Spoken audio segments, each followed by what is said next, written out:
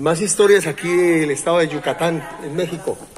Estábamos hablando de la temperatura. Se siente un aire como frío, pero es por las corrientes de aire. Por el frente frío que apenas ingresó eh, el día de ayer. De hecho, o sea, llueve primero y ya después al día siguiente hace frío. Correcto. Es- o sea, así es como nosotros sabemos que va a haber un frente frío. El, el punto exacto donde estamos, ¿cómo se llama? Valladolid. eh, Valladolid. Valladolid, Yucatán es el pueblo. El lugar, San Lorenzo Xman. San Lorenzo Xman. Xman. Ok. ¿Ese Xman es otra palabra azteca? Es una palabra maya. Maya, maya, maya. Maya. Los aztecas son más del centro de- del, del país. Hacia el, hacia el México, hacia la capital. exacto. Ah, ok. Los mayas estaban era por esta zona. En la península. Yucatán, Quintana Roo y Y parte de Guatemala. Culiacán, Guatemala y Belice. Ah, ok, listo.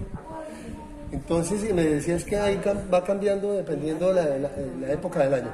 Eh, pero ¿cómo? Estamos a una altura de 10 metros sobre el nivel del mar. Eh, el nivel del mar, el mar está por este costado, pero entonces eh, depende de la temporada, o hace mucho calor o hace mucho. Mucho frío. En este momento pues estamos sintiendo es una ola como de medio frío, pero bien. Bueno, muchas gracias. ¿Cómo es tu nombre? Lídice. Lidicet. Lídice. Muchas gracias. Ahí tenemos más informes de última novedad. Entonces en la sombra pasa como pasa en Bogotá.